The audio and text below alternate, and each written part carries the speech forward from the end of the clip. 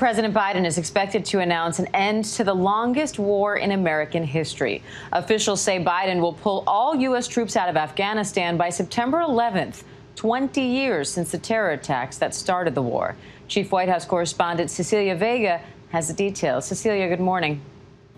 Diane, good morning to you. So there are still as many as 3,500 American troops in Afghanistan right now. This drawdown would bring that number down to zero. It's been called America's longest war. It's been called America's forever war. And just take a look at these numbers. They're absolutely staggering. More than 2,300 U.S. troops killed in this time period. More than 40,000 Afghan civilians killed there. The cost, 825 billion billion dollars.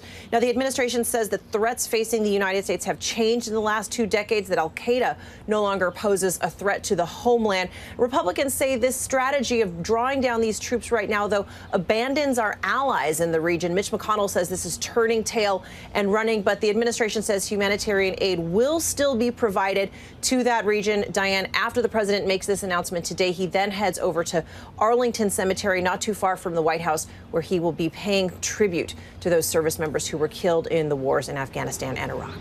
All right, Chief White House correspondent Cecilia Vega, thanks for that, Cecilia.